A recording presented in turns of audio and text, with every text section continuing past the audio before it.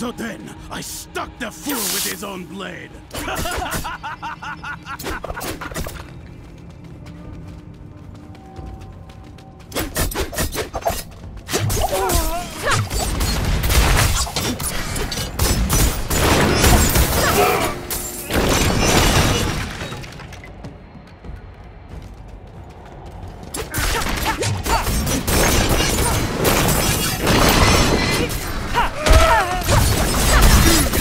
time to do that.